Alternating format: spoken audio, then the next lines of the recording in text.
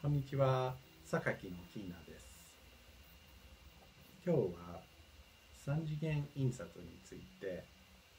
お話しさせていただきたいと思います。私、1990年代に初めて三次元プリントについての話を聞いた時実はいろんな疑問があったんですけれどの裏にあるロボットの経験でちょっと見直してまあ自分で体験してみようと思ったんですので去年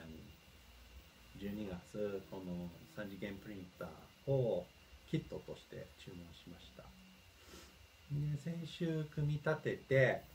まだ1週間しか経ってないんですけれどこの簡単の調整のためのものしか印刷してないんですけれど、まあ、これからいろんなその、まあ、組み立ての経験と最初の印刷と調整の経験と実用的な3次元プリントのものについてビデオを作らせていただきたいと思ってます。ご覧になっていただいてありがとうございます。ぜひコメント、質問もいただければと思います。じゃあこれからちょっと組み立て作業のタイムラプスのビデオ見せようと思ってます。よろしくお願いします。では。